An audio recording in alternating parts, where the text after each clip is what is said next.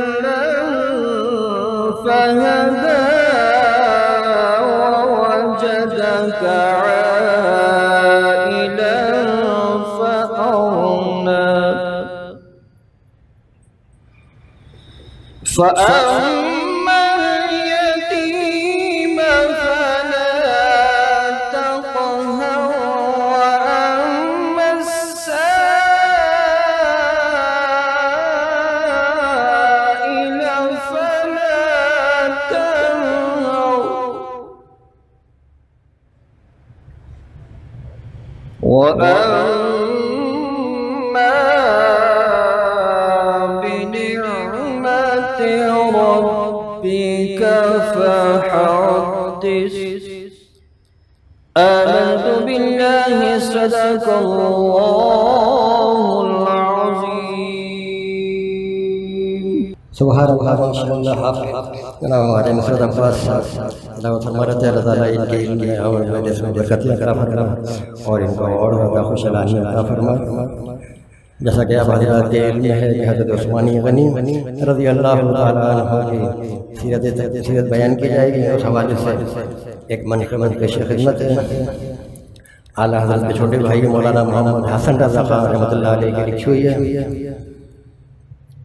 बोलेंगे छाट अपने नाम लेवा को महशर में। बोलेंगे सामने को में, गजब की भीड़ में, मैं उनकी इस पहचान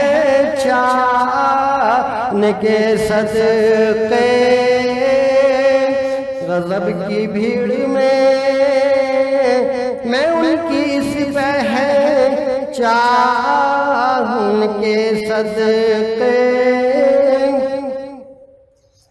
अल्लाह से क्या प्यार है? उस्मान गनी का। अल्लाह से क्या प्यार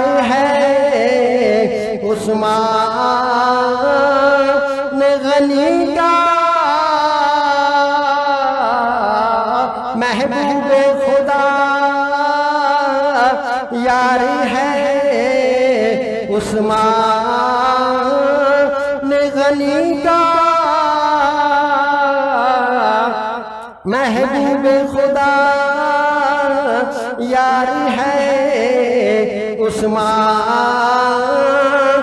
गनी का गर्मी पे ये बाज़ार है उस्मान। गनी का गर्मी पे ये बाज़ार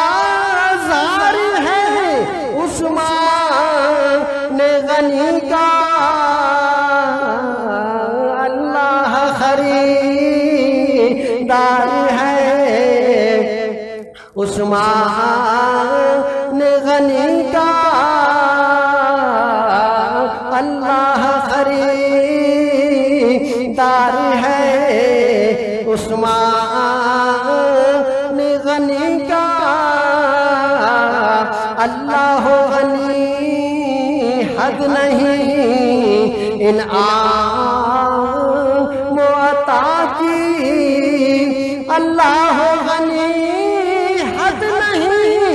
इन अता की। वो फैज पे दर्द बार है उस्मान गनी।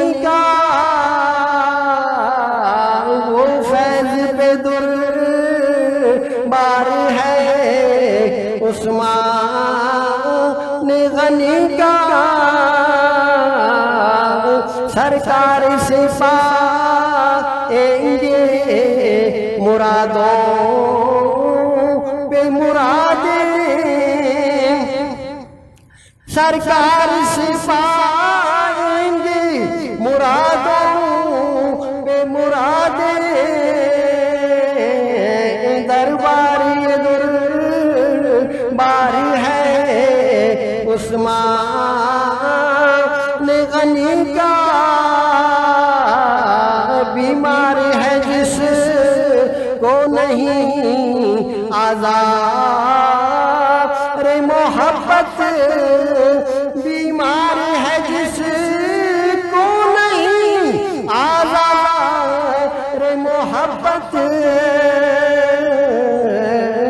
अच्छा है जो भी मार है उस्मान गनी का। अच्छा है जो भी मार है उस्मान गनी का। आल हज़रत के छोटे भाई मौलाना हसन रहमतुल्लाह अलैह मक्ते में फरमाते हैं कि रुक जाए मेरे काम हसन हो, नहीं सकता। रुक जाए मेरे काम हसन हो, नहीं सकता। फैजान मदद गारी है उस्मान। गनी का फैजान मदद। गारी है। उस्मान गनी का। अल्लाह से क्या प्यार है? उस्मान गनी का। महबूब खुदा यार है उस्मान गनी का। माशाल्लाह सुभान अल्लाह बहुत ही खूबसूरत और पुरसोज आवाज़ में नाते रसूल मकबूल और मनकबत उस्मान गनी हमें सुना रहे थे मुर्शिद करीम के। फर्जंदे असगर जनाब, मौलाना मोहम्मद रिजवान सिद्दीकी दामत बरकातुम और कुदसी, अल्लाह ताला से दुआ है कि अल्लाह ताला इनकी उम्र में बरकतें और रेफतें अता फरमाए। हमें बिला ताखिर इन अशार की रोशनी में दावत खिताब दे रहा हूँ, जनाब। मौलाना हाफिज मोहम्मद उमर शहजाद साहब को और एक मरतबा फिर आप तमाम अहबाब से इल्तमास गुजार हूँ जो मेरी आवाज़ समाज फरमा रहे हैं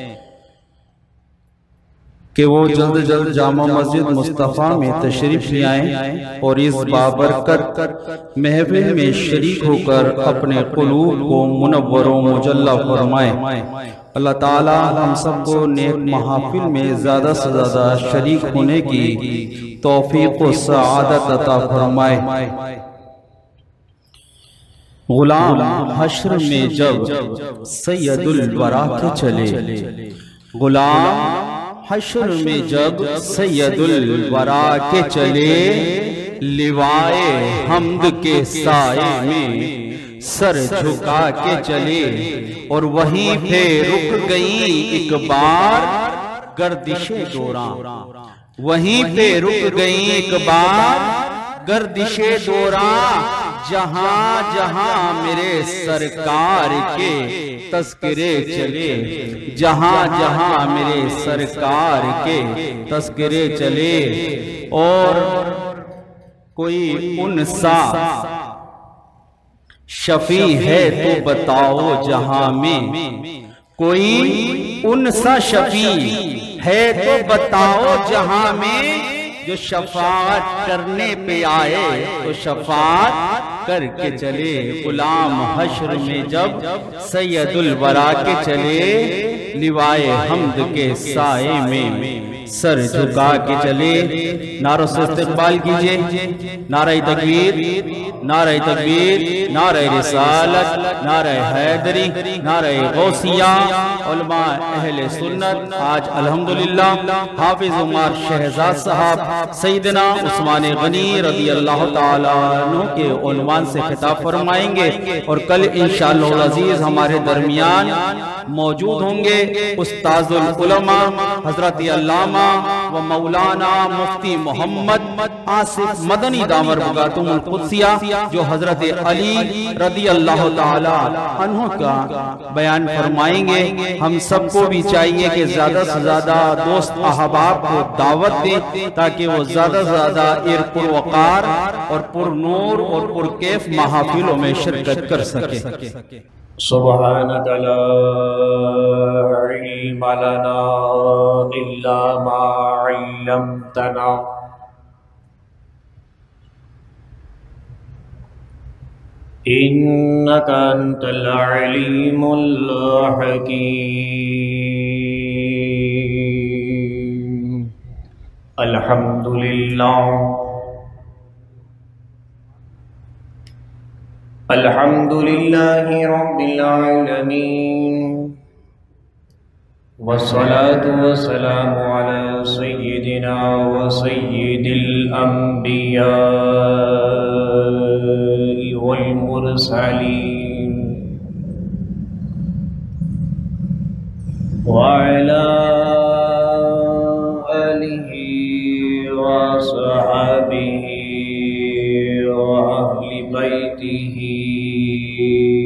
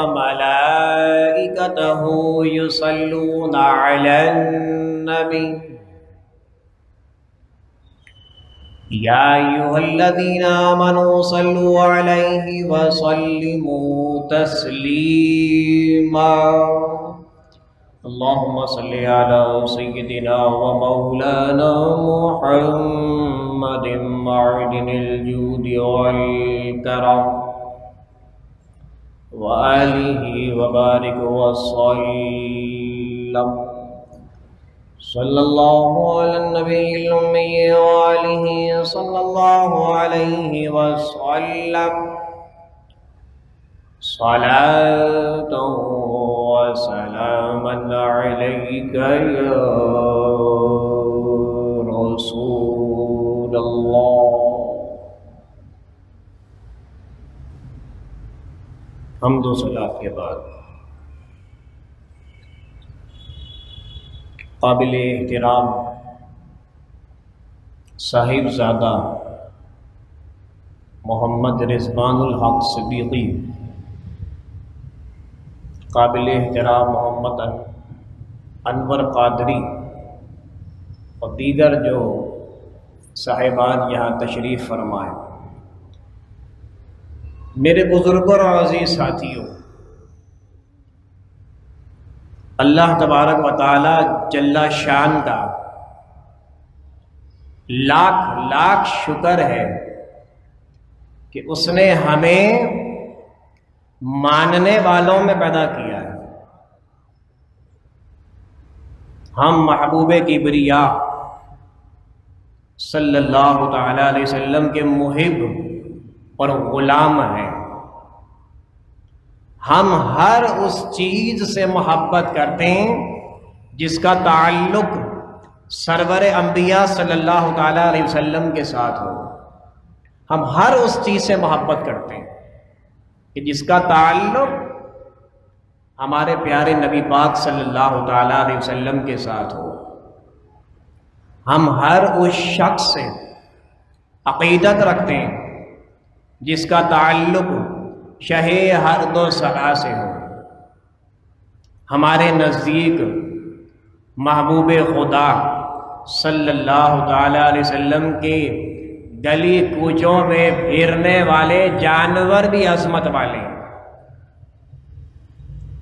हमें कुए हबीब सल्लल्लाहु अलैहि वसल्लम की मुकद्दस गलियों में रहने वाले कुत्तों से भी प्यार है। हाँ इस दौर में वहाँ कुत्ते नहीं एक ज़माना था अरब की सरजमीन में भी कुत्ते फिरा करते थे, जैसे हमारे यहाँ गली में फिरते ना कुत्ते। तो वो अरब में भी फिरते थे। वो अब नहीं है। अब अरब जो है, इन कुत्तों से बाग हो चुका है। हज़रत बेदम वारसी रहमत ताला फरमाते हैं सगे तैबा, मुझे सब कह के पुकारे बेदम। सगे दैबा मुझे सब कह के पुकारे बेदम, यही रखियो मेरी पहचान मदीने वाले। आला हज़रत अजीमुल बरकत परवाना शमाय रिसालत, मौलाना शाह अहमद रजा खान साहब फाजिल बरेलवी, रहमतुल्लाह ताला भी फरमा गए कि तुझसे दर दर से है सग सग से है मुझ को निस्बत। तुझ से दर दर से है सग सग से है मुझ को निस्बत। मेरी गर्दन में भी है दूर का डोरा तेरा। मेरी गर्दन में भी है, दूर का डोरा तेरा। मदीने मनवरा की गली के कुत्तों की आजमत पूछना है तो मौलाना जामी अली रहमा से पूछो, बू अली कलंदर से पूछो मुहदस अली पूरी, पीर सैयद जमात अली शाह साहब, रहमतुल्लाह ताला इनसे पूछो। ये पीर सैयद जमात अली शाह साहब जो हैं, इन्होंने सत्तर हज किए। सत्तर हज, एक सौ सत्तर इन्होंने उम्रे किए सत्तर हज किए, एक सौ सत्तर आपने उम्रे किए। और हमारे पीरो मुर्शिद जो हैं, किबला कारी मोहम्मद निसारुल हक सदीकी कादरी अशरफी नाइमी रहमत ताला के जो दादा जान हैं, जिनका मेवा शाह बोस्तान कुरैश आगरा में मदा शरीफ है। हज़रत अलामा कारी मोहम्मद असरारुल हक, तूती हिंद, रहमतुल्लाह ताला पीर सैयद जमात अली शाह साहब और मौलाना असरारुल हक साहब, ये दोनों दोस्त थे। इनकी अच्छी दोस्ती थी। और दोनों पाए के बुज़ुर्ग वली कामिल वली सिफ्त दोनों शख्सियत थे। तो 115 साल इनकी उम्र शरीफा हुई है, पीर सैयद जमात अली शाह साहब की। मदीने मनवरा में एक जगह हुजाज की दावत थी। हमारे पाकिस्तान में भी होता है, हाजी हज करके आते हैं तो उनकी दावत रखी जाती है। तो उस ज़माने में भी दावत का रिवाज था हुजाज कराम की दावत थी। जब लोग खाना खाने लगे तो उसी दौरान उस मजलिस में कुत्ता आ गया। तो किसी ने उसकी टांग पर पत्थर दे मारा। तो कुत्ता बेचारा जख्मी होकर चाऊ चाऊ करता उस महफिल से भागा। पीर सैयद जमात अली शाह साहब ये मंजर देख रहे थे। और दावत ही मदीने शरीफ में ये मंजर देख रहे थे। जब ये मंजर देखा, तड़प गए। तड़प गए। दावत को छोड़ा और उस जान कुत्ते के पीछे दौड़े। क्या देखते हैं कि वक्त का इमाम वली कामिल, नबी की औलाद, सैयद जादे, क्या देखते हैं कि अपने सरे मुबारक से अपना दस्तार, अपना इमामा शरीफ खोलते हैं, उसको फाड़ कर उस जानवर की कुत्ते की पट्टी करते हैं। वो कहते बदबर तूने इस जानवर को मारा? ये मदीने शरीफ में रहता है। ये मेरे आका के शहर का जानवर है। तुमने इसकी टांग पे बे मकसद पत्थर मार डाला। तो शर्म नहीं आई? यहाँ से मालूम होता है कि अल्लाह वालों को इश्क रसूल हर उस चीज़ के साथ है जो नबी के शहर में रहती है। हालाँकि कुत्ता एक नापाक जानवर है। हमने हदीसों में पढ़ा है कि कुत्ते को सत्तर हज़ार मरतबा भी, भी नहला दो तो ये नापाक ही है। मगर उसका इतना अदब इतना एहतराम किस बात का? क्यों किया कि वो मेरे महबूब के शहर में रहता है? सिर्फ़ इसी वजह से। तो मेरे बुज़ुर्गों और साथियों अल्हम्दुलिल्लाह। सुम्मा अल्हम्दुलिल्लाह हम मानने वाले हैं। हम मोहब्बत करने वाले हैं, हम अकीदत रखने वाले हैं। हजूर अकरम वसल्लम के तमाम सहाबा कराम, मैंने कल भी बताया था कि तमाम सहाबा कराम शान वाले हैं। इनमें चंद नफूस कुदसिया ऐसे हैं कि जिन्हें बारगाह खुदाबंदी और दरबार मुस्तवी में जो खसूसी मकाम हासिल है, उनमें से एक सैदना उस्मान गनी रज़ी अल्लाह तहो भी है। सैदना उस्मान गनी, वो आली मरतबा साहबी हैं कि जिनके निकाह में यके बाद दीगर हजूर सल्लल्लाहु अलैहि वसल्लम की दो साहिबजादियाँ आई। मेरे आका की दो बेटियों का निकाह, यके बाद दीगर हज़रत उस्मान गनी के निकाह में आई। और ये तुर्रा इम्तियाज़ जो है, ये एजाज़, ये किसी और सहाबी को नहीं मिला। हती के सबका जो अम्बिया कराम गुजरे, उन नबियों की औलादों को भी एजाज नसीब नहीं हुआ, जो उस्मान गनी रज़ी अल्लाह तु को नसीब हुआ। एक नबी की दो बेटियाँ, यके बाद दीगर इनके निकाह में आई। इसी नस्बत से आपको कहा जाता है जुन्नूरैन, दो नूरों वाले। सरकार आला हज़रत अजीमुल बरकत, परवाना शम रसालत, मौलाना शाह अहमद रज़ा ख़ान फाजिल बरेलवी रहमतुल्लाह ताला फरमाते हैं कि नूर की सरकार से पाया दोशाला नूर का। नूर की सरकार से पाया दोशाला नूर का। हो मुबारक तुमको जुन्नूरैन जोड़ा नूर का। हो मुबारक तुमको जुन्नूरैन जोड़ा नूर का। कौन उस्मान गनी? रज़ी अल्लाह जिन्हें हजूर नबी अकरम सल्लल्लाहु अलैहि वसल्लम का दामाद बनने का शर्फ हासिल हुआ। और महबूब किबरिया सलाम ने अपने हाथ को उस्मान का हाथ फरमाया है। अपने हाथ को उस्मान का हाथ फरमाया है। दस्ते खुदा है, हबीबे खुदा।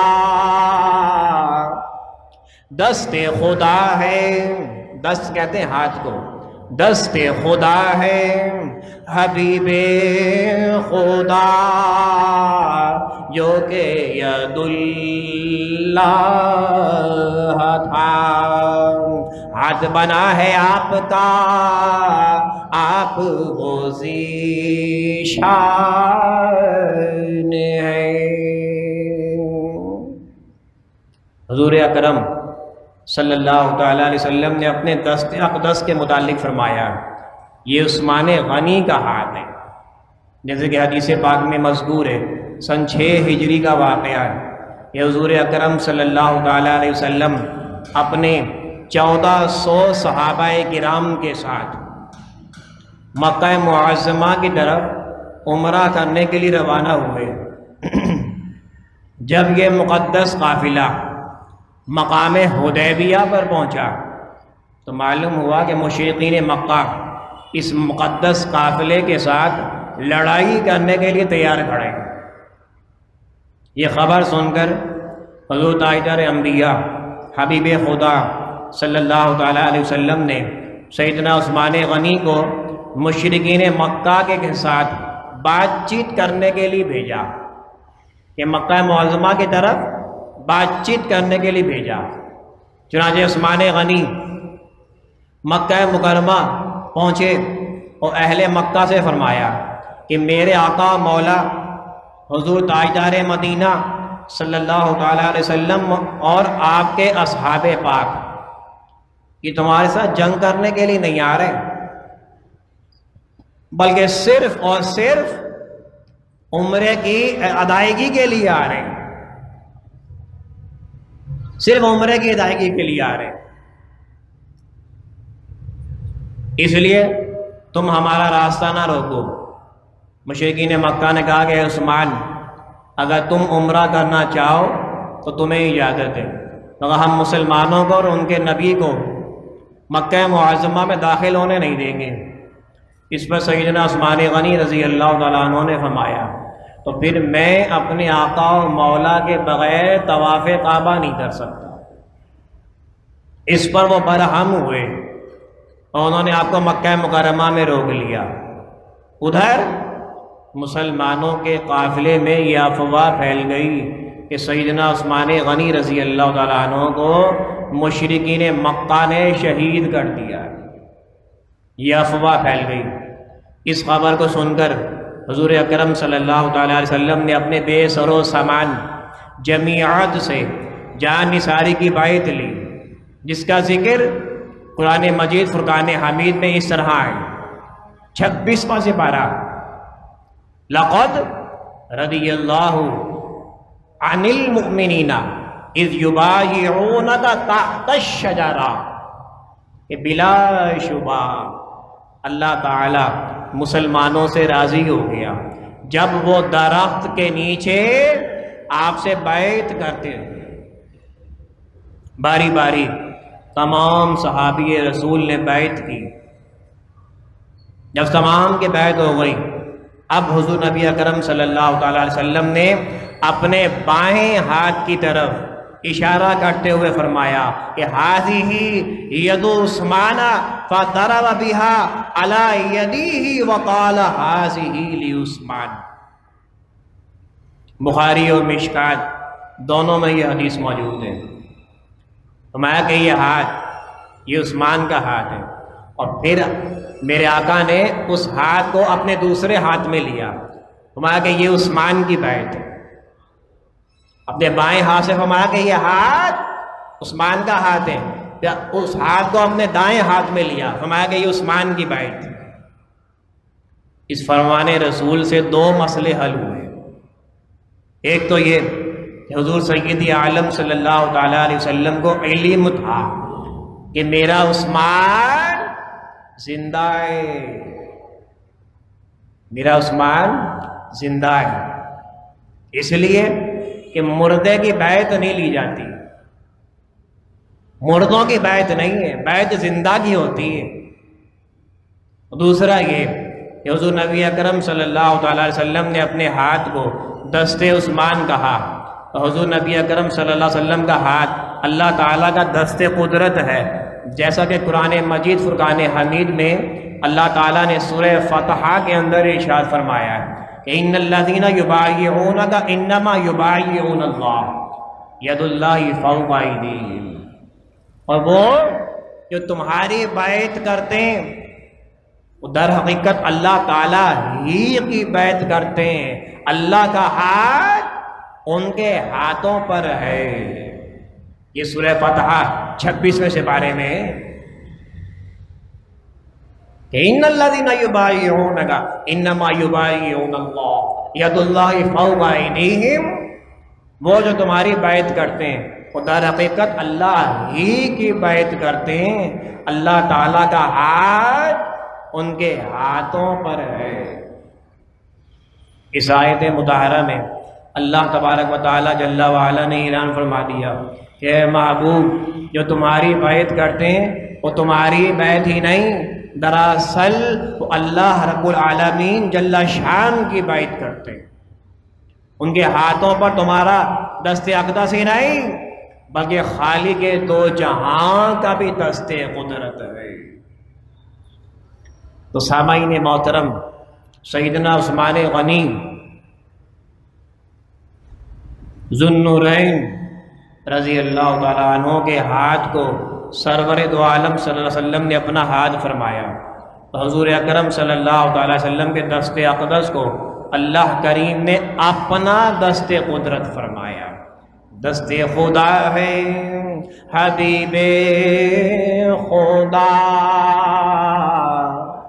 दस्त खुदा है, हबीबे खुदा।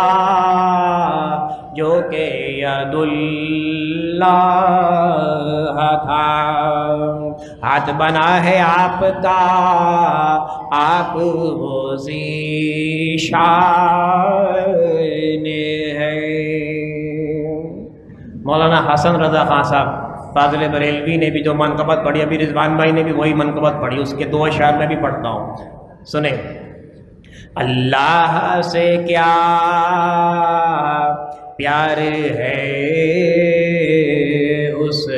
माने गनी का अल्लाह से क्या प्यार है उस माने गनी का महबूब खुदा यार है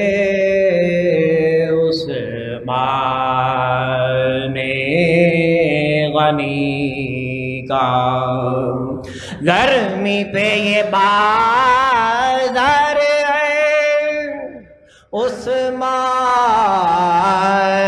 गनी का गर्मी पे ये बाज़ार है उस्मान गनी का। अल्लाह खरीदार है उस्मान गनी का। अल्लाह खरीदार है उस्मान गनी कौन उस्मान गनी जो मुंबई जूदो सहाबी थे मदनी इल्मो हया भी थे, जो दमात नबी हैं, हम जुल्फ़ अली हैं तो जामिउल कुरान है, नासिर ईमान है, जो अमीरुल मुमिनीन है, वो इमामुल मुजाहिदीन भी है, जो जुन्नुरैन भी है मजमाउल बहरैन भी है। कौन उस्मान गनी? कौन उस्मान गनी?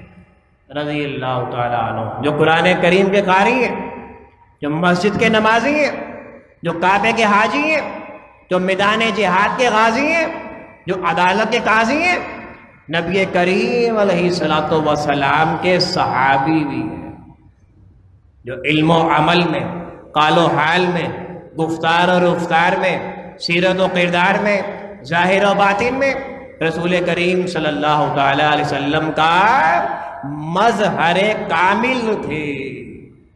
जो माली और जानी कुर्बानी, ईमानी फिरासत, कल्बी बसीरत और रूहानी तरबियत में बेमिसल और बेमिसाल थे। कौन उस्मान गनी कि जिनके जन्नती होने की खबर दुनियाई में नबी पाक सल्लल्लाहु अलैहि वसल्लम ने इस तरह दी व उस्मानो फिल जन्ना। मिशकाल शरीफ की हदीस है कि मेरा उस्मान जन्नती है। मेरा उस्मान जन्नती है। लिकुल नबीन लिकुल नबीन रफीकुन व रफीक यानी फिल जन्नती उस्मान। मिशकात शरीफ सफ़ा नंबर पाँच सौ इकसठ। हर नबी का कोई रफ़ीक होता है। रफ़ीक के कई मायने दोस्त, मददगार, पैरोकार, पैरवी करने वाला, मुरीद, रफ़ीक के कई मायने तो अल्लाह के नबी फरमाते हर नबी का कोई रफ़ीक होता है जन्नत में। और मेरे रफ़ीक उस्मान है।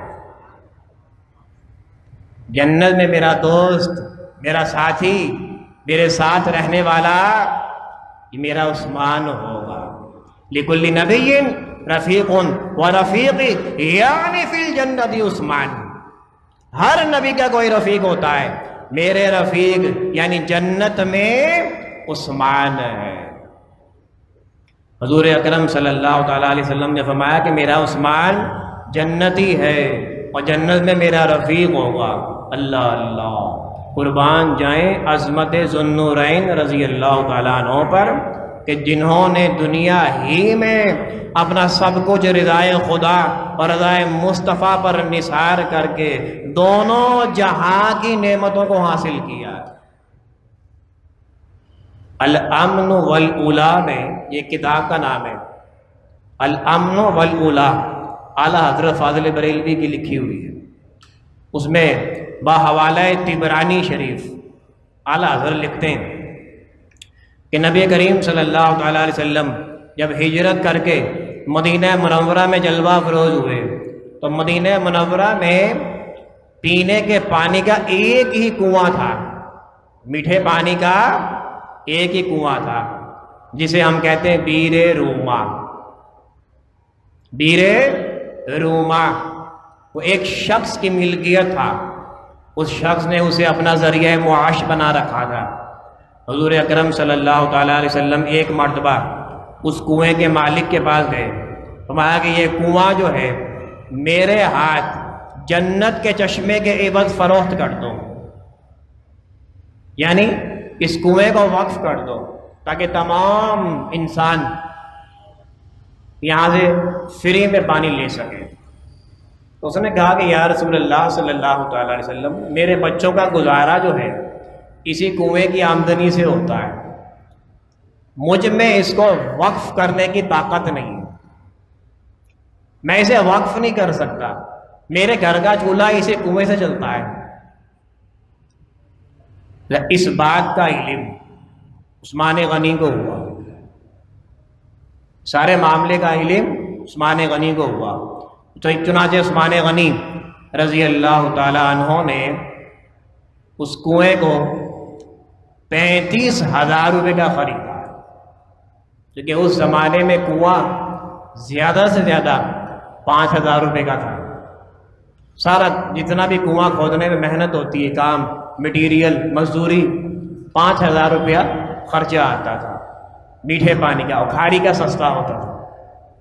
तो ये मीठे पानी का कुआँ था। उस जमाने में पाँच हज़ार रुपये इसकी कीमत थी। और उस्मान गनी रज़ी अल्लाह तु ने इसे पैंतीस हज़ार रुपये का खरीदा। उस वक्त मदीने शरीफ में जो लोगों की आबादी थी, कुल दस हज़ार लोग थे। इससे ज़्यादा लोग नहीं थे। दस हज़ार लोगों की ये आबादी का उस ज़माने में शहर था। जब उस्मान गनी ने पैंतीस हज़ार रुपये का वो कुआँ ख़रीदा। ख़रीदने के बाद हजूर अक्रम सल्लल्लाहु अलैहि वसल्लम के दरबार में हाजिर हुए। हम आगे, या रसूल अल्लाह सल्लल्लाहु अलैहि वसल्लम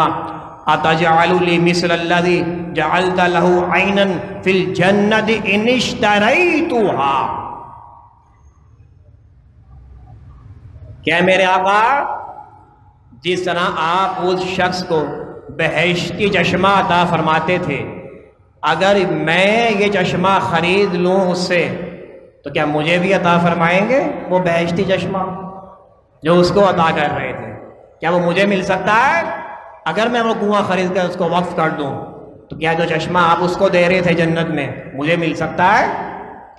तो उस्मान गनी रज़ी अल्लाह तहों ने अर्ज़ किया या रसूल अल्लाह क्या वो चश्मा मुझे मिल सकता है? तो अल्लाह के नबी ने फरमाया कि हाँ उस्मान, वो तुम्हें भी मिल सकता है। जब हज़रत उस्मान गनी ने ये सुना कि मुझे भी मिल सकता है तो उस्मान गनी ने फ़ौरन कहा, क्या मेरे आका, मैंने वो कुआँ खरीद लिया है और मैं आपकी जनाब में तमाम मुसलमानों के लिए से वक्फ करता हूँ। आपकी जनाब में मैं तमाम मुसलमानों के लिए उस कुएँ को वक्फ करता हूँ। सामाइन कराम, सईदना उस्मान गनी रज़ी अल्लाह तु ने बीर रूमा ख़रीद कर तमाम मुसलमानों के लिए उसे वक्फ कर दिया और उसके बदले जन्नती चश्मे के हकदार बन गए। अच्छा ये बीर रूमा जो है, इसका पानी गुर्दों के लिए बड़ा बेहतरीन है।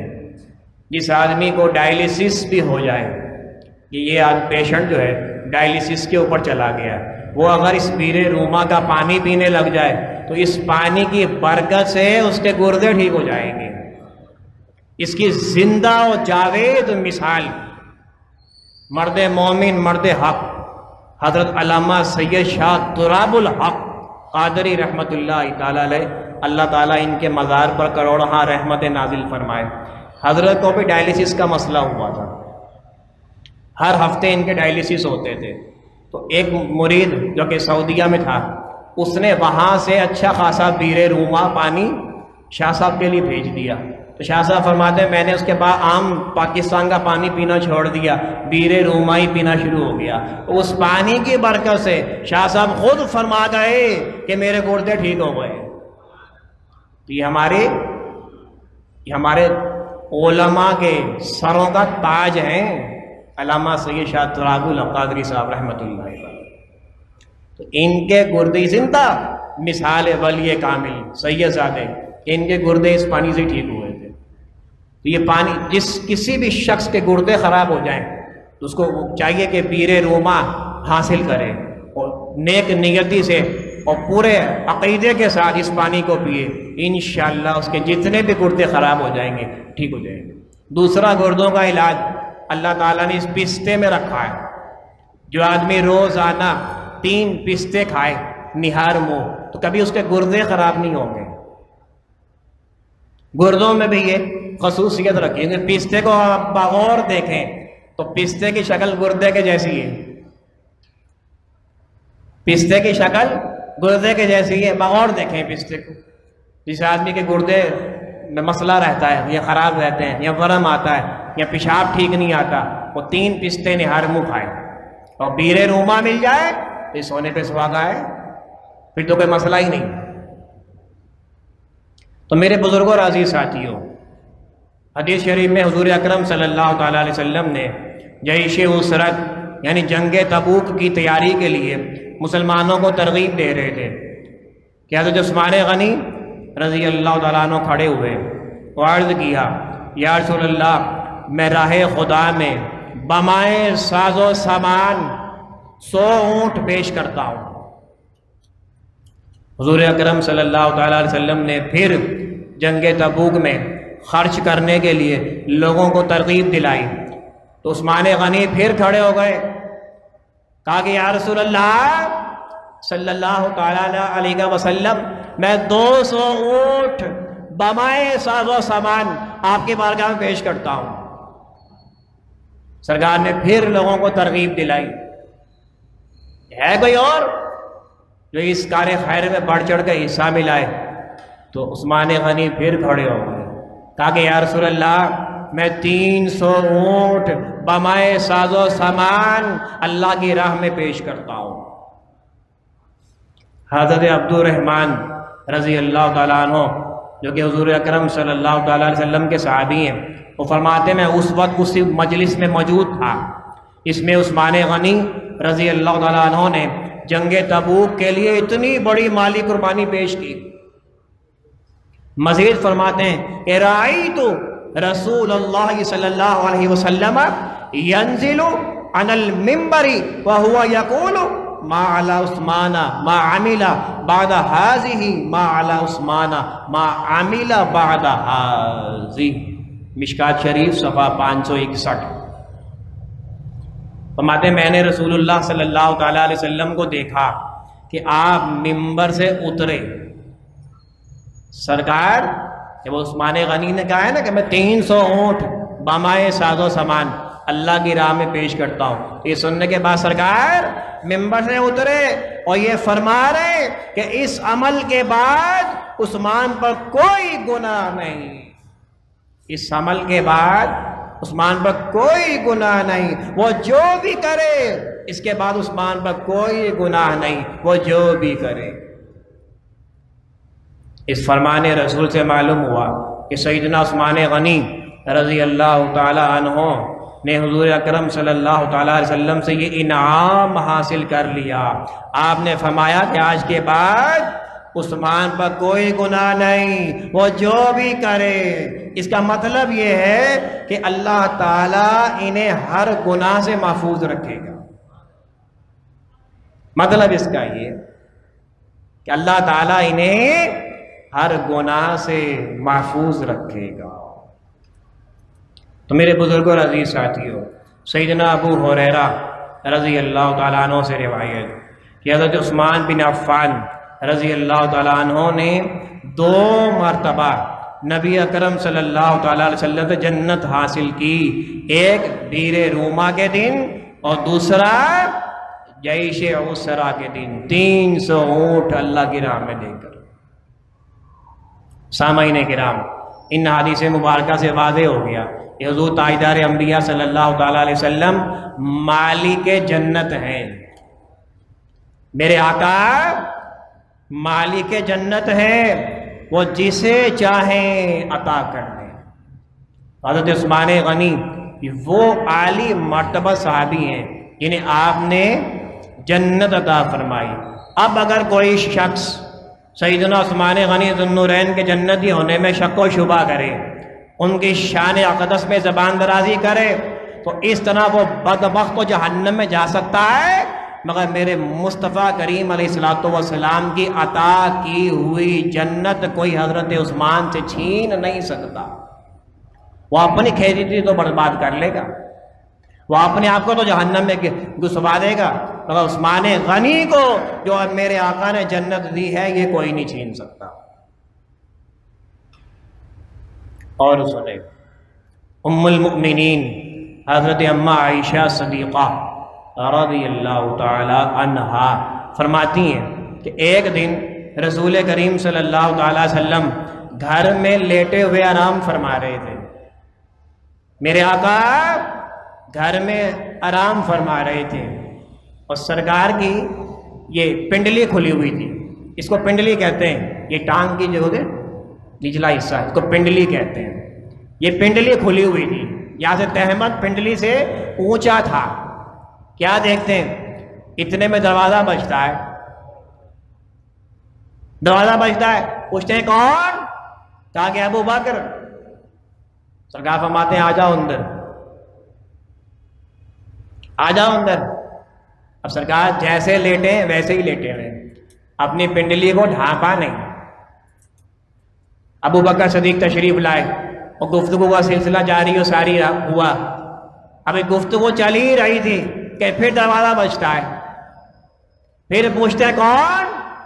कहा कि यार सुल्ला उमर, अंदर आने की इजाज़त चाहता हूँ। कहा कि, आ जाओ। इजाज़त है। अब हज़रत उमर भी तशरीफ़ फरमा हो गए। पहले अबू बकर सदीक आए अब हज़रत उमर भी तशरीफ़ ले आए। अब दोनों, तीनों के दरमियान गुफ्तु का सिलसिला जारी और सारी है। अभी गुफ्तु जारी है, फिर दरवाज़ा बजता है। सरकार पूछते हैं, कौन? कहा कि यार रसुल्ला उस्मान, अंदर आने की इजाज़त चाहता हूँ। कहा कि, ठहर जाओ। ठहर जाओ। अब नबी पाक सल्लल्लाहु अलैहि वसल्लम फ़ौरन उठे। बैठे, अपनी पिंडली को ढांपा। इसे है ना, आदमी टेंशन हुआ। मेरे आका ने इस तरह करके दिखाया। फ़ौरन उठकर बैठे, पिंडली को ढांपा। टेंशन हुए। अब कहा कि उस्मान अंदर आ जाओ। अब हज़रत उस्मान गनी भी अंदर, वो क्या मंजर होगा? वो क्या वक्त होगा? वो क्या रहमतें बरस होंगी कि आगे रसूलुल्लाह बैठे और सामने तीन जलील कद्र खलीफा बैठे हुए हैं। साबी रसूल खलफा राशिदीन बैठे हैं। क्या मंजर होगा? तीनों साहिबान ने गुफ्तु अपनी अपनी की, उसके बाद चले गए। अम्मा आयशा बोली, अम्मा आयशा, बोली ए मेरे आका, फिदा का अबीबा उम्मी, मेरे अब्बा जान अबू बकर आए, आप जिस हालत में लेटे थे, वैसे ही लेटे रह गए। उसके बाद हज़रत उमर आए, आप जैसे लेटे थे, आप वैसे ही लेटे रह गए। उसके बाद हज़रत उस्मान गनी आए आप फ़ौरन उठकर बैठ गए अपनी पिंडली को ढांपा अटेंशन हुए। इसकी क्या वजह है? तो मेरे आका फरमाते आयशा, अला अस्तही मिर रजोलिन तस्तही मिनहुल मलाइका। मिशका शरीफ सफ़ा पाँच सौ साठ। अल्लाह के नबी फरमाते हैं कि, आयशा क्या मैं उस शख्स से हया ना करूँ जिससे फरिश्ते भी हया करते? क्या मैं उस शख्स से हया ना करूँ जिससे फरिश्ते भी हया करते? एक और रिवायत में कि रसूलुल्लाह सल्लल्लाहु अलैहि वसल्लम ने फरमाया कि मैंने रब करीम से दुआ की। अल्लाह के नबी फरमाते हैं, मैंने रब करीम से दुआ की, ए अल्लाह, ए मेरे मालिक मेरा उस्मान जो है, ये बड़ा ही शर्मीला है। मेरा उस्मान, ये बड़ा ही शर्मीला है। तो कल क़यामत को इसका हिसाब ना लेना। कल क़यामत को इसका हिसाब ना लेना ये शर्मो हया की वजह से तेरे सामने खड़ा होकर हिसाब नहीं दे पाएगा। ये अल्लाह के नबी फरमाते हैं, मैंने अल्लाह से दुआ की कि अल्लाह मेरे उस्मान का कल क़यामत के दिन हिसाब ना लेना। इतना शर्मीला है, इतनी हया वाला है कि तेरे सामने खड़े होकर हिसाब नहीं दे पाएगा।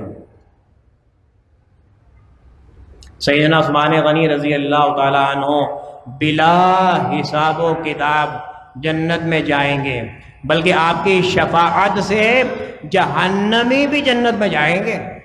याद रखें इबन आसाकिर ने हज़रत इबन अब्बास रज़ी अल्लाह तहों से बयान किया है कि रसूलुल्लाह सल्लल्लाहु अलैहि वसल्लम ने फरमाया कि उस्मान की शफात से सत्तर हज़ार ऐसे आदमी जन्नत में जाएँगे कि जिनके ऊपर आग वाजिब हो गई है। जिनके ऊपर जहन्नम को अल्लाह ने वाजिब करार दे दिया है, सत्तर हज़ार होंगे। उन सत्तर हज़ार की शफात उस्मान गनी रज़ी अल्लाह तु फरमाएँगे। तो मेरे बुज़ुर्ग और अज़ीज़ साथियों सईदना उस्मान गनी रज़ी अल्लाह तु की सिफारिश से अल्लाह तबारक व ताली सत्तर हज़ार दोजखियों को बिला हिसाब किताब जन्नत में दाखिल फरमाएगा। तो आप खुद अंदाज़ा लगाएँ कि उस्मान गनी रज़ी अल्लाह तु को जन्नत में कौन सा अजीम मकाम मिलेगा। अब आप खुद अंदाज़ा लगाएँ कि जिसकी शफाहत से सत्तर हज़ार जन्नत में जाएँगे, वो भी वो कि जिन पर जहन्नम वाजिब हो गई। खुद उस्मान गनी का क्या मकाम होगा? जन्नत में। अंदाज़ा लगाएँ। मकाम यही है कि मेरे अल्लाह, मेरे प्यारे महबूब ने फरमा दिया कि उस्मान जन्नत में मेरा रफ़ीक होगा। मेरा साथी होगा, मेरा दोस्त होगा, मेरे साथ होगा, मेरी पैरवी में होगा। अब उन लोगों को अपने गिरेबान में मुँह डालकर ज़रा सोचना चाहिए कि उस्मान गनी, जुन्नूरैन रज़ी अल्लाह तु से बुग्ज और इनाद रखते हैं और उनका ठिकाना बरोज़ क़यामत किधर होगा? इन्हें सोचना चाहिए। हज़रत जाबिर रज़ी अल्लाह तु फरमाते हैं हजूर अक्रम अलैहि एक आदमी का नमाज़ जनाजा पढ़ाने के लिए गए। मेरे आका एक शख्स का नमाज़ जनाजा पढ़ाने के लिए गए। जनाजे के सामने गए और पढ़ाने से इनकार कर दिया। ताकि मैं इसका जनाजा नहीं पढ़ाऊँगा। जनाजे को देखा है, देखकर इनकार कर दिया। कहा मैं इसका जनाजा नहीं पढ़ाऊँगा। इन एक साहबी ने पूछा, या रसूलल्लाह, आज से पहले हमने कभी ऐसा नहीं देखा कि आपने किसी की नमाज़ जनाजा ना पढ़ाई हो? तो मेरे आका ने फरमाया कि इन्नाहू काना युबगिदु उस्मान। तिरमिदी शरीफ जिल्दोम सफ़ा नंबर 212 हदीस मौजूद है तिरमिदी शरीफ में। अल्लाह के नबी फरमाते हैं, वो उस्मान गनी से बुग्ज रखता था, इसलिए मैं इसकी नमाज़ जनाजा नहीं पढ़ाऊँगा। ये मेरे उस्मान से बुग्ज रखता था। तो मेरे बुज़ुर्गों राज़ी साथियों, उस्मान गनी जुन्नूरैन के साथ बुग्ज रखने वालों, अब ज़रा सोचो, दरबार रसूल में तुम्हें क्या मकाम हासिल होगा? अब भी वक्त है। तोबा करके हजूर अक्रम वसल्लम के प्यारे और महबूब सहाबी सईदना उस्मान गनी के मुहिब और गुलाम बन जाओ। अब भी वक्त है। तोबा का दरवाज़ा खुला है। बंद नहीं हुआ है। शमाय रिसालत के परवाने के साथ अपना ताल्लुक कायम कर लो। जिस, जिसने अपना सब कुछ कुर्बान करके महबूब किबरिया सल्लल्लाहु अलैहि वसल्लम की बारगाह से दोनों जहान की नेमतों और अजमतों से अपने दामन को भरा है। उनके दामन से लिपट जाओ। हजूर अक्रम अलैहि के मुहिब के लिए ज़रूरी है कि वो आपके हर मुहिब के लिए अपने दिल में मोहब्बत रखे। ये ज़रूरी है। महबूब की हर चीज़ महबूब होती है। ये कायदा है। अब चाहे आपको मोहब्बत दुनिया की हो या दीन की हो, आपको मोहब्बत दुनिया की हो, दीन की हो, इंसान की हो या किसी भी चीज़ की मोहब्बत हो जिससे मोहब्बत हो जाए, उसकी हर चीज़ से प्यार हो जाता है कि ये मेरा महबूब है। तो मेरे बुज़ुर्गों, अज़ीज़ साथियों, अगर हम कहते हैं कि हमें अपने नबी से प्यार है तो हमें हर उस चीज़ से प्यार करना पड़ेगा जिससे मेरे आका ने प्यार किया है। सैदना उस्मान गनी रज़ी अल्लाह तु इन्होंने जब कलमा पढ़ा, कलमा जब पढ़ा तो इनके चचा जो थे हकम बिन अबिल आस, इनके चचा का नाम था ये। अमूमन ये बात मशहूर है कि अबिल आस को लोग इनके वालिद कहते हैं। हालाँकि ये वालिद नहीं है, ये इनके चचा हैं। हकम बिन अबिल आस, इनको पकड़ा और पकड़ कर उस्मान गनी को इन्होंने पकड़ा और पकड़ कर कमरे में बंद कर दिया। से ताला लगा दिया। कुंडी बंद कर दी। कहा कि जब तलक तुम इस नए दीन को नहीं छोड़ दे, तुम इस कमरे में कैद रहोगे। उस्मान गनी रज़ी अल्लाह तु ने फरमाया, चचा, तुम्हारा जो जी चाहे तुम कर लो। मतलब जो जी चाहे तुम कर दो, मुझे मारो, पीटो, जख्मी कर दो लहू लहान कर दो। मगर मैंने इस्लाम कबूल कर लिया है, मैं इससे पीछे नहीं हट सकता। मेरी जान तो जा सकती है, मेरा सर तो तन से जुदा हो सकता है, मगर मैं इस्लाम से पीछे नहीं हट सकता। आपको हजूर अक्रम वसल्लम से इस कदर कामिला मोहब्बत थी कि आपके चचा ने जब देखा कि ये नहीं पीछे हटता फिर खुद ही आज़ाद कर दिया, खुद ही खोल दिया। अब जो रिवायत आई, ये रिवायत बड़ी ज़बरदस्त और बड़ी दिलों को भाने वाली रिवायत है। सुबान गनी रज़ी अल्लाह तु हजूर अक्रम वसल्लम की बारगाह में हाजिर हुए। कहा कि यार आज आपकी दावत है मेरे घर पर। आज आपने खाना मेरे यहाँ खाना है, बमाए अपने असहाब के। अल्लाह के नबी ने दावत को कबूल कर लिया। जब दावा का वक्त आया तो उस्मान गनी लेने के लिए आए। तो क्या देखते हैं? अल्लाह के नबी, अपने असहाब के साथ, अपने दर दौलत से उस्मान गनी के गरीब खाने तक जाने लगे। उस्मान साथ नहीं चल रहे, पीछे चल रहे। हैं और पीछे चलते चलते मेरे आका के कदम गिन रहे। हैं मेरे आका के कदम गिन रहे। हैं तो अल्लाह के नबी ने जब देखा कि उस्मान पीछे चल रहा है और मेरे कदम गिन रहा है। कहा गया, उस्मान, तुम मेरे कदम क्यों गिन रहे हो? क्या वजह है? मेरे कदम गए कदमों की गिनती क्यों कर रहे हो? हज़रत उस्मान ने बड़ा ही प्यारा जवाब दिया। फरमाते, मेरे आका, मैं ये चाहता हूँ कि आपके दरे दौलत से लेकर मेरे गरीब खाने तक जितने कदम आपके ज़मीन पर लगे, उतने गुलाम में आज़ाद करूँगा। जितने कदम आपके दर दौलत से लेकर मेरे गरीब खाने तक लगेंगे, मैं उतने गुलाम आज़ाद करूँगा। यह है इश्क मुस्तफ़ा, यह है इश्क रसूल सल्लल्लाहु अलैहि वसल्लम। अल्लाह ताला इसका कुछ हिस्सा हमें भी अता फरमाए। सैदना सदीक अकबर रज़ी अल्लाह तु के दौरे खिलाफत में एक मरतबा, सख्त तरीन कहत पड़ गया। कि खाने को कुछ भी नहीं था। गले की किल्लत की वजह से लोग बेहद परेशान। एक दिन सईदना सदीक अकबर रज़ी अल्लाह तु ने फरमाया, क्या लोगों, परेशान ना हो, आज तुम्हारी परेशानी ख़त्म हो जाएगी। चुनाचे उसी रोज़ सैदना उस्मान गनी रज़ी अल्लाह तु ने एक हज़ार ऊँट, एक हज़ार ऊँट गले से लदे हुए लेकर मदीने शरीफ में आ गए। अर्ज़ करने लगे कि अभी जितने भी लोग परेशान हैं, सबकी परेशानियाँ ख़त्म हो जाएँगी। अभी ये बात कर ही रहे थे कि मदीने के सारे ताजिर आ गए। मदीने शरीफ के सारे ताजिर आ गए। कहते हैं, उस्मान, ये गल्ला हमारे हाथ फरोख्त कर दो। कहा, कितना मुनाफा दोगे? बीस फ़ीसद दे दूँगा मुनाफा। बीस फ़ीसद मुनाफा दे दूँगा। उस्मान गनी फरमाते हैं कि नहीं, मुझे तो इसका डबल मिलता है। डबल से भी ऊपर मिलता है। वहाँ के तो आपको कितना मिल रहा है? उस्मान गनी ने फरमाया कि मुझे एक के बदले दस गुना मुनाफा मिल रहा है।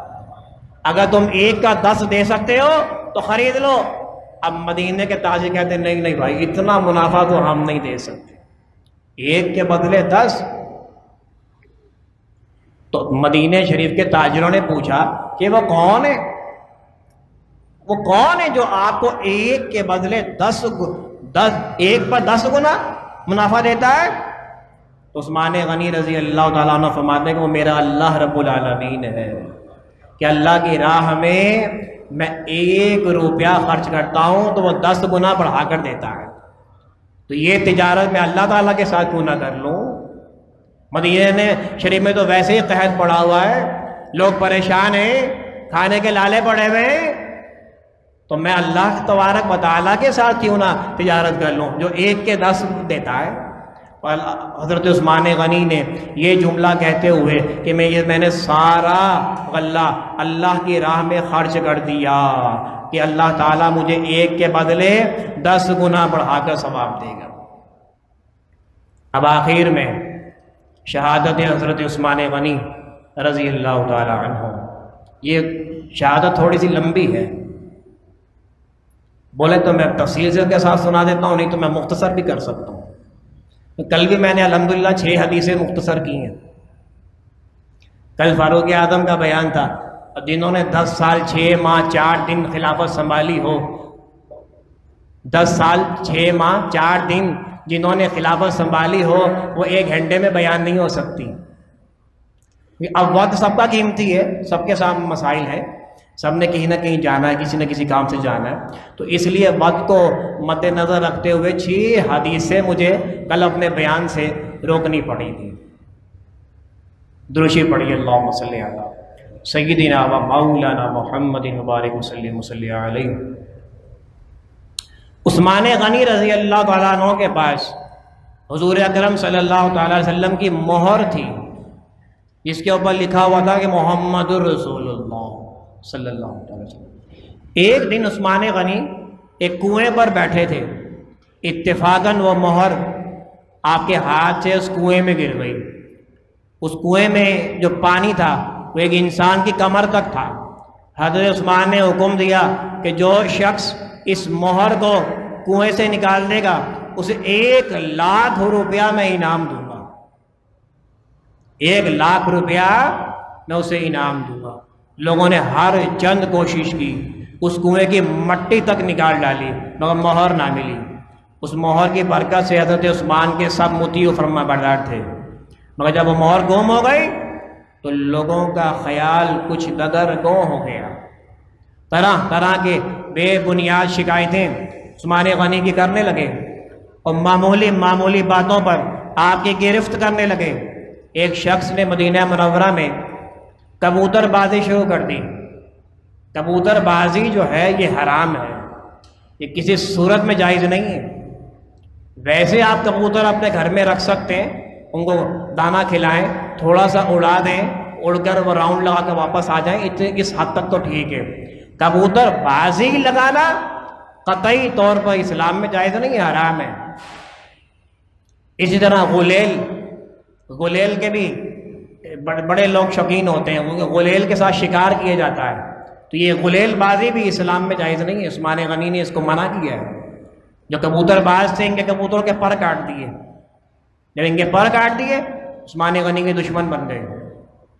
और जिसने गुलेल बनाई, उसकी गुलेल तोड़ दी, ये भी आपके दुश्मन हो गए। ये दुश्मन हो गए। या आपके खिलाफ तरह तरह के हीले और बहाने ढूँढने लगे। क्योंकि शरफ शहादत से आपने मुशरफ होना था। और इसकी खबर हजूर अक्रम अलैहि तो पहले ही दे चुके थे। चुनाच एक मरतबा हजूर अक्रम अलैहि वसल्लम और अबू बकर सदीक, हज़रत उमर, हज़रत उस्मान। ये रिवायत मैंने कल भी सुनाई थी कि और पहाड़ के ऊपर जलवा अफरोज हुए, वो पहाड़ हिलने लगा। तो अल्लाह के नबी ने उस पहाड़ के ऊपर अपनी एड़ी को मारा। ये पहाड़ काय बोला रास्ता है कि तुझे नहीं मालूम? तेरे ऊपर एक नबी, एक सदीक और दो शहीदान मौजूद है। तो हज़रत उस्मान को तो अपनी शहादत की खबर पहले ही थी। अब ये जो सब कुछ जो शुरू हुआ ये हज़रत उस्मान की शहादत के सारे बहाने शुरू हुए अब्दुल्ला बिन सबा, ये सबा सीन वाला है, एक सबा सौद वाला होता है। अब्दुल्ला बिन सबा ये एक शरीर बदबक यहूदी था। जो कि उस्मान गनी के वक्त में मुनाफिक बनकर मुसलमान हो गया था। कुछ दिन मक्का और मदीना शरीफ में रहा, पर इसका दाव ना चल सका। फिर ये मुसाफिर शहर बसरा में चला गया। कुछ वहाँ इसने नुक्स फैलाया फिर कोफे में गया मगर कहीं पूरे तौर पर इसको मौका ना मिला। जब मिस्र में आया तो अहले मिस्र को ये बात तालीम दी कि बताओ कि मोहम्मद सल्लल्लाहु अलैहि वसल्लम का मर्तबा ज़्यादा है या ईसा सलाम का? तो सबने कहा कि अल्लाह के नबी पाक सल्लल्लाहु अलैहि वसल्लम का, मोहम्मद का मर्तबा ज़्यादा है। कहा, बड़ा अफसोस है। ईसा तो क़यामत से पहले आएँगे और काफिरों को हलाक करेंगे, मगर मोहम्मद सल्लल्लाहु अलैहि वसल्लम तो नहीं आएँगे। ये कहकर इसने गुमराह करना शुरू किया कि हजूर सल्लल्लाहु अलैहि वसल्लम तो नहीं आएँगे। आपके दुश्मन जो चाहे किया करें। ये बात कब हो सकती है? बाद अहले मिस्र ने ये रजात रजात का यानी वापसी का मसला मान लिया। जब इस यहूदी का ये दाव चल गया तो फिर वो एक कदम और आगे बढ़ा। कहने लगा कि हर नबी का एक वसी होता है। वसी, उसे कहते हैं जिसके बारे में कोई वसीयत की हो। वो शख्स जिसके बारे में वसीयत की हो, या वसीयत पर अमल करने वाला इसको वसी कहते हैं। जनाब नबी करीम सल्लल्लाहु अलैहि वसल्लम के वसी तो हज़रत अली हैं। खिलाफा का हक वसी का होता है। उस्मान ने खिलाफा को गज़ब कर लिया। तुम किसी तरह खिलाफ, उस्मान को खिलाफा से अलग करो तो अली को बिठाओ। ये बेदीन यहूदी, हज़रत अली का भी खैर ख्वा नहीं था। ये तो महज मुसलमानों में इफ्तराक, यानी जुदाई पैदा करने के लिए आया था। चुनाचे कई लोग इसके दाव में भी आ गए। कहने लगे, हम उस्मान को किसी तरह खिलाफत से अलग करें किस तरह हम उस्मान को खिलाफत से अलग करें? तो बोला कि, तुम पहले जो हाकिम हज़रत उस्मान की तरफ़ से मिस्र पर मुकर हुआ है, इसकी शान में एतराज़ करो और लोगों को अपनी तरफ़ रागब करो। और जगह जगह मिस्र में और बसरा में ख़त रवाना करो। चुनाचा जगह जगह ख़त हाकिमों के मुतालिक शिकायतों के लिखे जाने लगे। राय आमा कि इसको हर तरफ़ से किया जाएगा। ये सब लोगों ने इसे मंसूब किया है। इसको कहते हैं राय आमा उस्मान के हाकिम ये जुल्म करते हैं। सबसे बहुत से कोफा, बसरा के लोग भी इस साजिश में शरीक हुए। यहाँ तक कि अहले मिस्र व अहले कोफा बसरा, उस्मान, हज़रत उस्मान की तरफ़ लिखा हुआ, हर तरह से चैन से हैं। मगर हम हाकिम, जो हाकिम हज़रत उस्मान ने मुसलत किए हुए ये हमारे ऊपर बड़ा जुल्म करते हैं। हम हर तरह से चैन में हैं, मगर जो इन्होंने हाकिम मुसलत किए हुए हैं, ये हमारे ऊपर बहुत तरह से जुल्म करते हैं। लिहाजा इनसे हमें बचाया जाए। तो मेरे बुज़ुर्गों राज़ी साथियों, ये बहुत बड़ी प्लानिंग हुई, साजिश हुई हज़रत उस्मान के ख़िलाफ़। और ये टोटल की यहूदियों ने, मुनाफिकों ने टोटल यहूद और मुनाफिक इसमें शामिल थे। इबन सबा यहूदी की साजिश और मरवान की शरारत से अहल बसरा और कोफा, मिस्र वाले हज़रत उस्मान के बेगुना खून से खून से हाथ रंगे बगैर ना रह सके। चुनाचे वो लोग हज़ारों की तादाद में बलवा करके आ गए। उस वक्त साहबा के राम ने अर्ज़ किया कि, या मेरे मिनीन हमें लड़ाई करने का हुक्म दे, इजाज़त दे, ताकि हम इनको मार भगाए आपने फरमाया कि तुमको कसम है अल्लाह की। तुमको कसम है अल्लाह की, मेरे लिए किसी मुसलमान का एक खून का कतरा भी ना बहाना। मैं क़यामत के दिन खुदा ताला को क्या जवाब दूँगा? साहबा के राम ने फरमाया कि आप मक्का मुआजमा चले जाएँ या मुल्क शाम चले जाएँ? वहाँ हज़रत अमीर मुआविया मौजूद हैं। उनका लश्कर है, आपने फरमाया कि मेरे दोस्तों, मैं आखिरी वक्त में अपने नबी पाक सल्लल्लाहु अलैहि वसल्लम के मज़ार शरीफ से दूर क्यों चला जाऊँ? मैं क्यों यहाँ से दूर चला जाऊँ?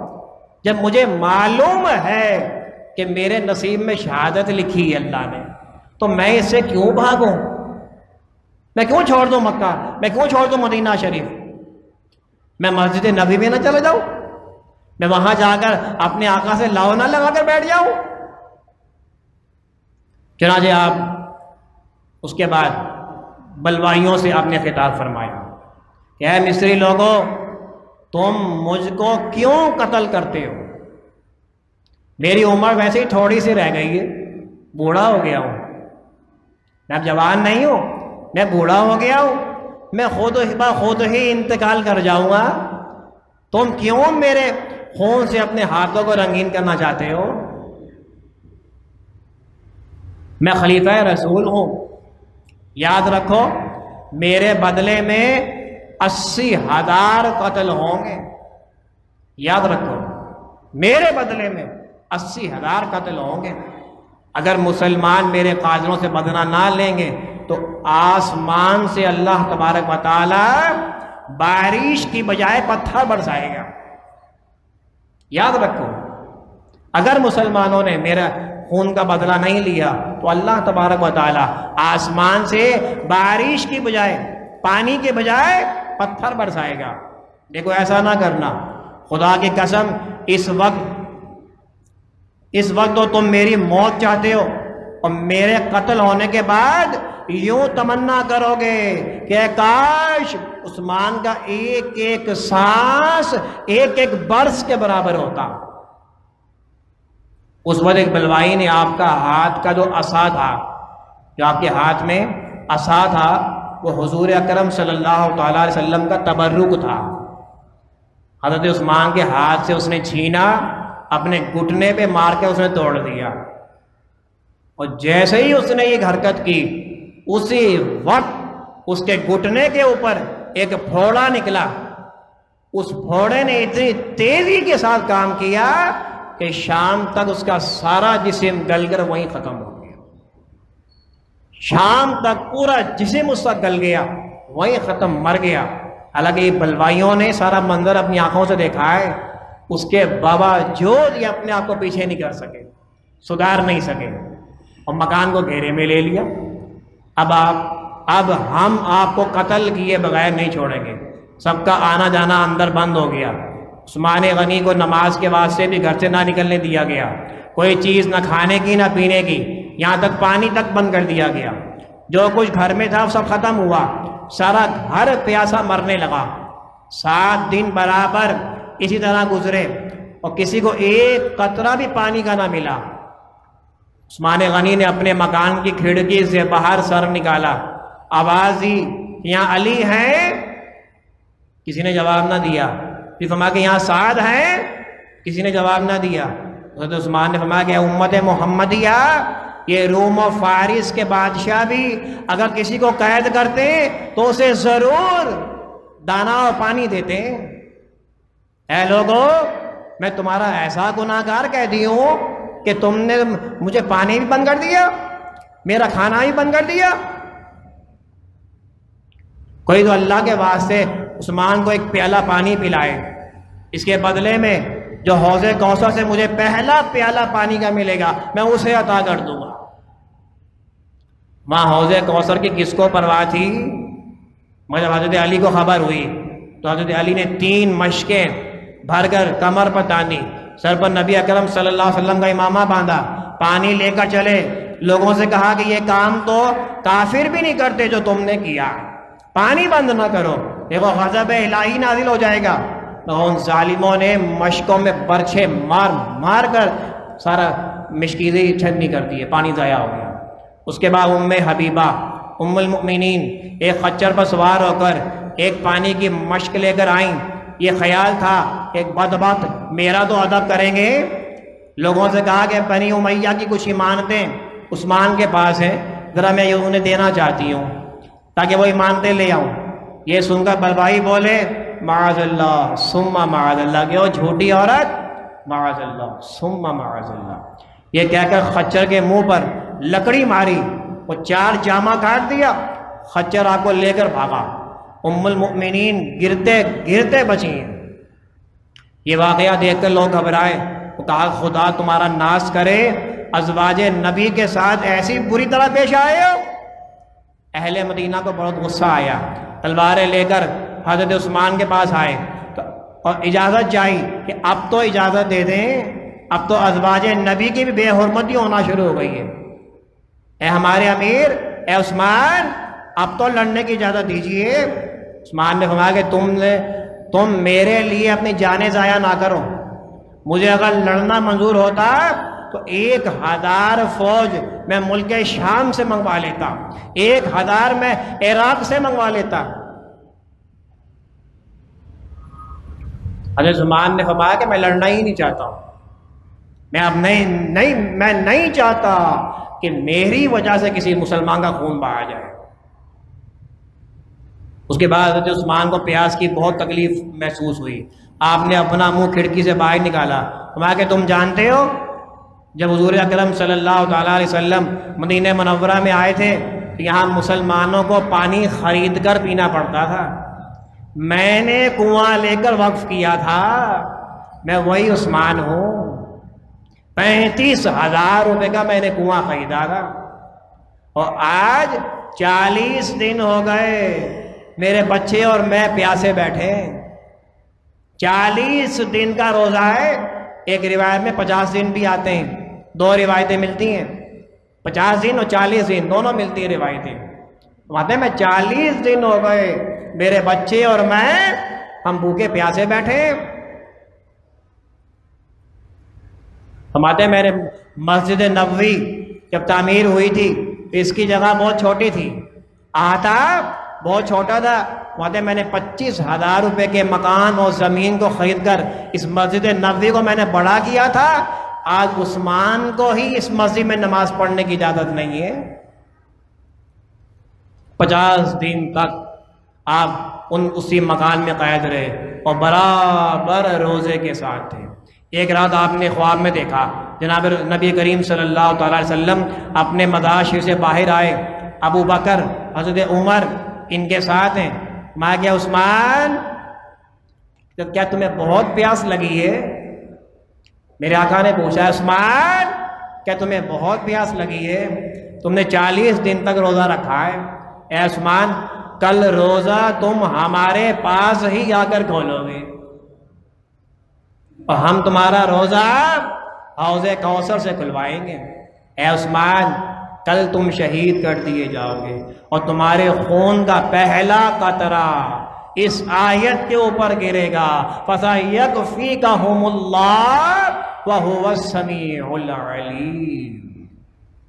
ये मेरे आका सल्लल्लाहु अलैहि वसल्लम ने हज़रत उस्मान की शहादत से एक दिन पहले आकर ये अपनी ज़ियारत से मुशर्रफ फरमाया और दूसरे दिन इन ालिमों ने इबन सबा यहूदी इस बदबख्त ने हज़रत उस्मान के घर की दीवारें फांद कर अंदर कूदे और इन्होंने नेज़ों के साथ पहले हज़रत उस्मान का दायां हाथ शक किया।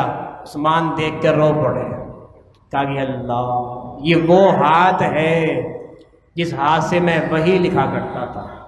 कातिब वही थे उस्मान गनी। ये वो हाथ है जिससे मैं कुरान लिखा करता था। आज तुमने मेरा हाथ ही काट दिया। बदबख्तों ने मज़ीद आपके ऊपर जुल्म ढाए। हज़रत उस्मान गनी को चक्कर आया और ये आयत कुरान पाक खुला हुआ था। फसा यकफ़ी का हमल्ला हुआ समीम इस आयत के ऊपर इसका तर्जमा यह है कि उस्मान तेरा बदला लेने के लिए तेरा अल्लाह ही काफ़ी है। इस आयत पर आपका खून के कतरे गिरे तो अशहद मोहम्मद रसूलुल्लाह। पढ़ते हुए जाम शहादत नौश फरमाई। इन्ना व इन्ना बुज़ुर्गों अज़ीज़ साथियों, ये बयान जो सुनाया है, जो कुछ सुना, सुनाया, अगर इस सुनने, सुनाने में कोई गलतियाँ कोताहियाँ कमी बेशियाँ बेअदबियाँ अगर हो गई हों तो अल्लाह ताला अपनी रहमत से मुझे माफ़ी अता फरमाए और हम सबको मिलकर उस पर अमल करने की तोफ़ी अता फरमाए। Mama अलैनाबी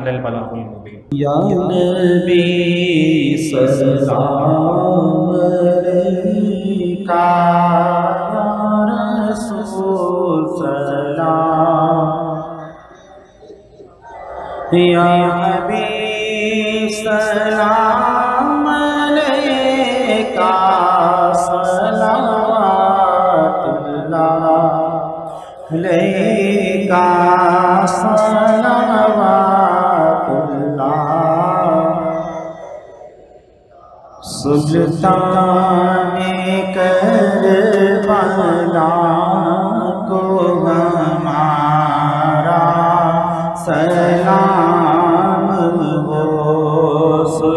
Sita